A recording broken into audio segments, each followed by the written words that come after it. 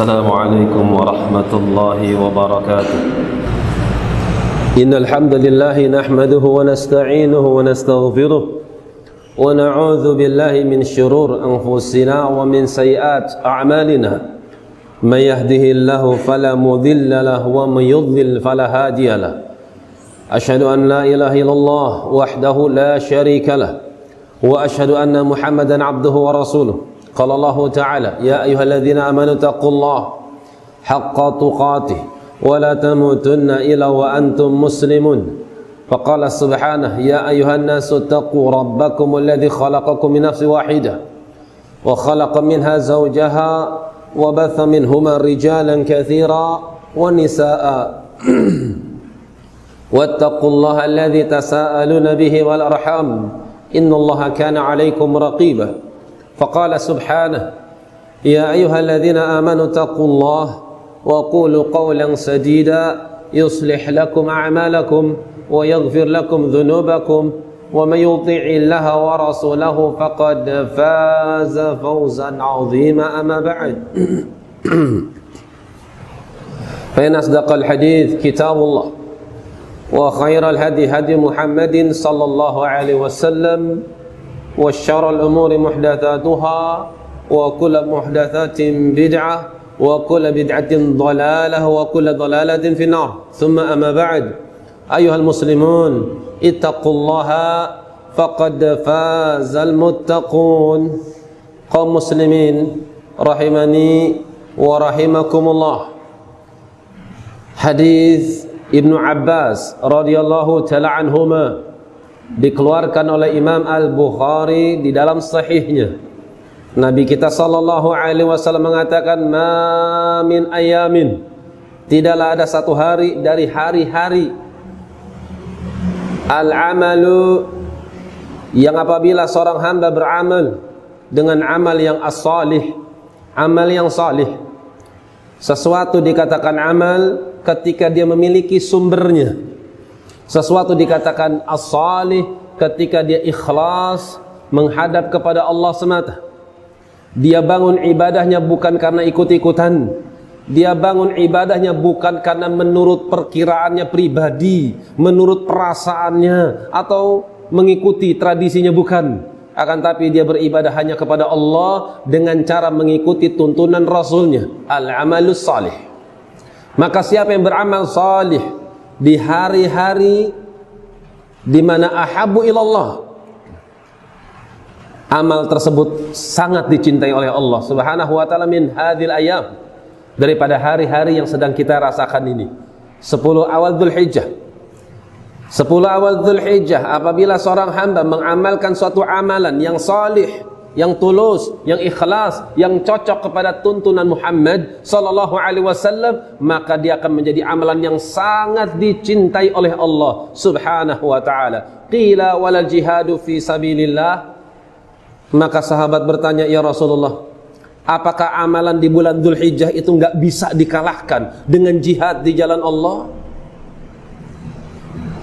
Qala walal jihadu fi sabilillah.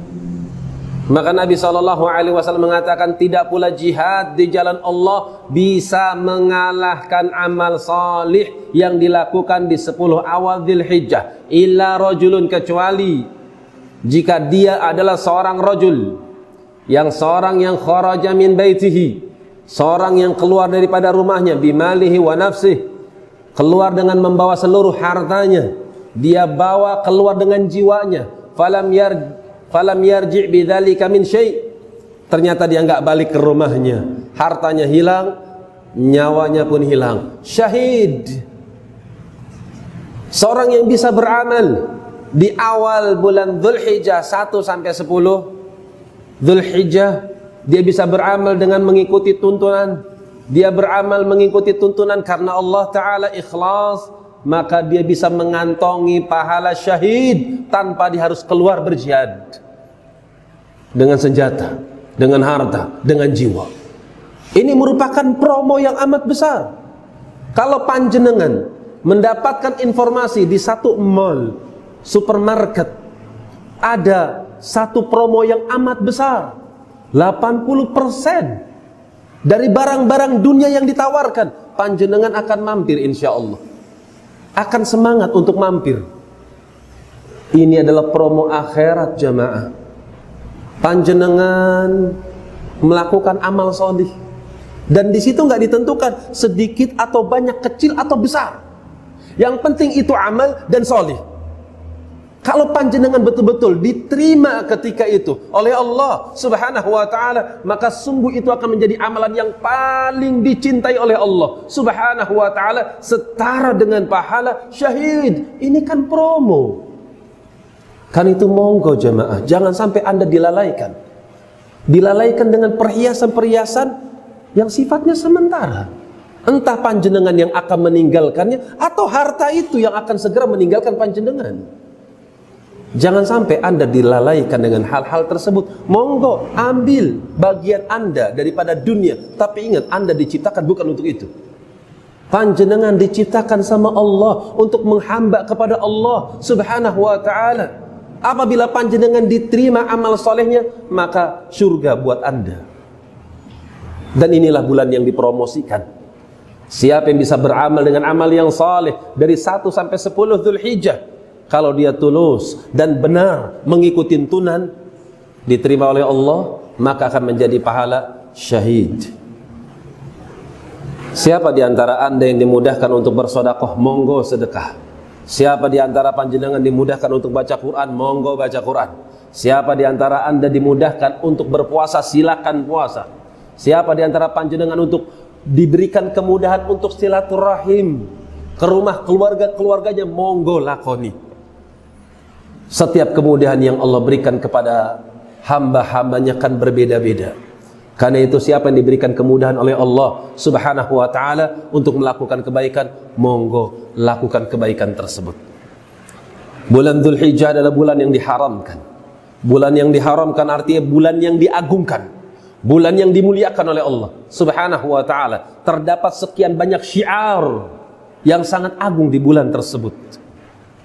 Di antara syiar yang sangat agung adalah haji dan juga kurban. Di mana ini merupakan seluruh amalan yang pernah diamalkan oleh Ibrahim alaihissalam. Loh kenapa? Kok amal Ibrahim alaihissalam bisa awet sampai hari kiamat?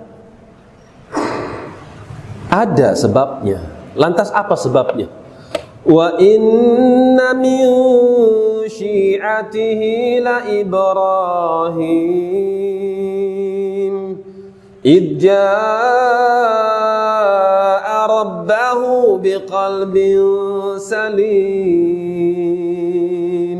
Di antara cucu-cucunya Nabi Nuh alaihissalam adalah Ibrahim alaihissalam. Seperti apa Ibrahim alaihissalam? idja'a rabbahu ketika dia menghadap kepada Tuhannya dengan salat, dengan haji, dengan tawaf, dengan sodakoh, dengan kurban, apa pun yang beliau lakukan, dia harapkan pertemuan dengan Tuhannya biqalbin salim dengan membawa hati yang selamat. Selamat dari ingin pujian, selamat ingin mendapatkan sesuatu daripada porsi dunia. Selamat dari menginginkan selain Allah. Itulah agamanya, itulah amalan Ibrahim alaihissalam. Seorang yang sangat mukhlis, seorang yang sangat tulus. Dan itulah yang harus kita pelajari pada diri beliau alaihissalam. Ketika berdakwah karena Allah. Ketika berhaji karena Allah. Ketika berkurban karena Allah. Dan kurbannya Ibrahim berbeda dengan kurbannya manusia.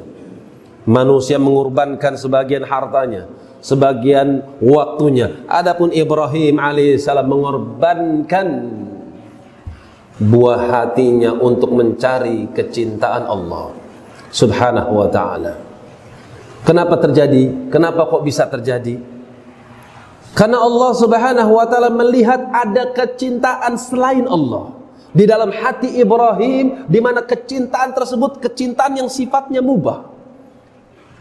Cinta tabiat, seorang cinta sama pasangannya, seorang cinta dengan buah hatinya, tabiat manusia, halal, boleh, nggak masalah.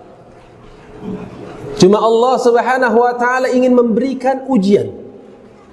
sekaligus pelajaran bagi umat belakangan akan imam yang satu ini, akan tokoh yang sangat agung ini, yaitu Ibrahim alaihissalam.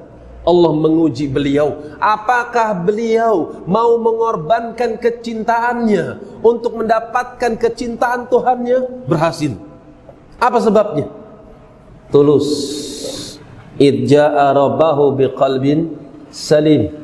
Sifat ibadah Ibrahim alaihissalam selalu untuk Allah, di jalan Allah, karena Allah subhanahu wa ta'ala. Beda dengan kita, Kadang ada keinginan untuk dipuji sama manusia.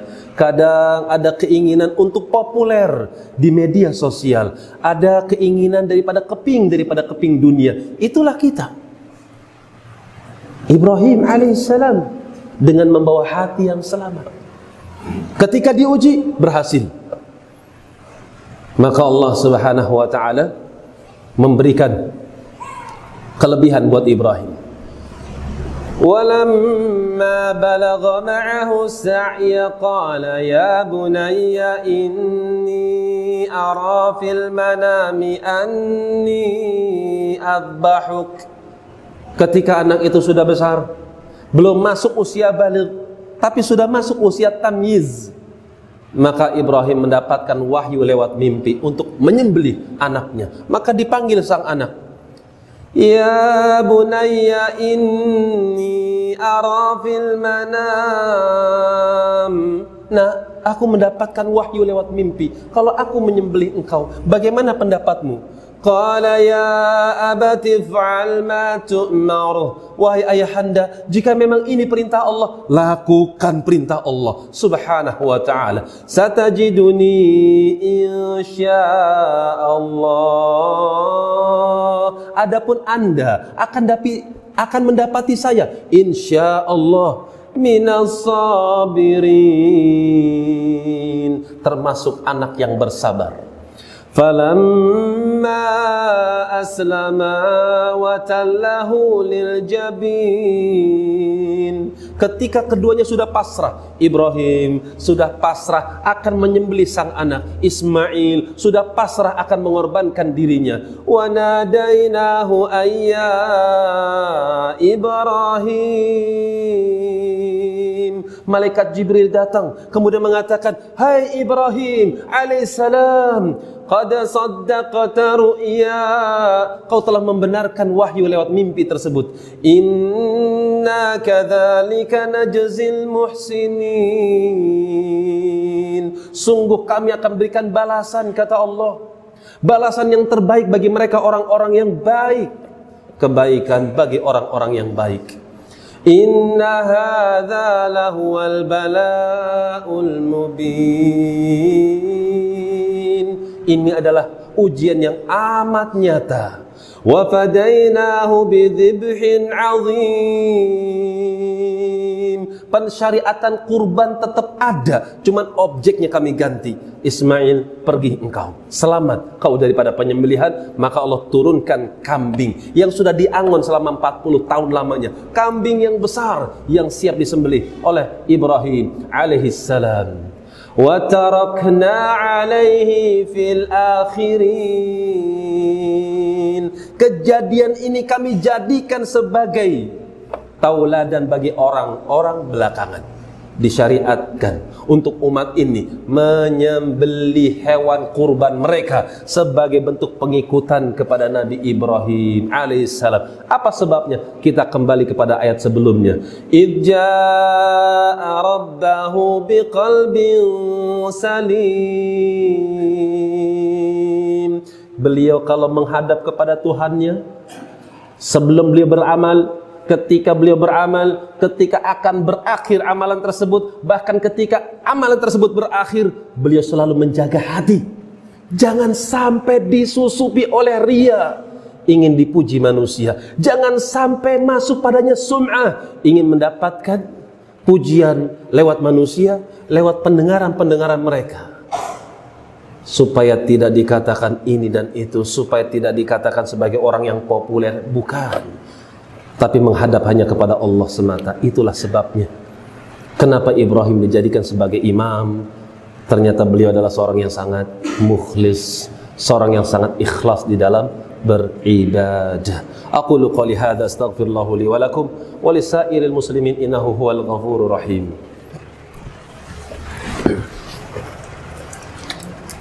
Bismillah.